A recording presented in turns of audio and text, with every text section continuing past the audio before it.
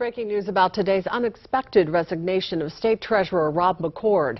8 on your side government reporter Pete Montine is here now. News reports are citing unnamed sources who say McCord is stepping down amid a federal investigation.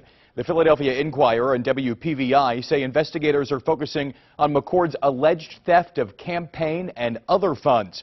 McCord ran for governor against Tom Wolf during last year's Democratic primary.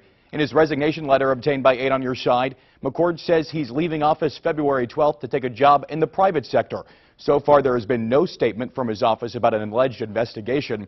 McCord took office in 2009. His current term runs up after the 2016 election. It will be up to Governor Tom Wolf to nominate his successor.